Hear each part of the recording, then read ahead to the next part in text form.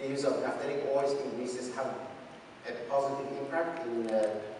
the production as well as in performance. The shift of the base oil industry from Group 1 to, to um, and from, from Group 1 to Group 2 and 3 have resulted in a very dif difficult situation or, uh, for, for, or is a difficult situation uh, and will be worse, I think, uh, for the lube and Greece I think uh,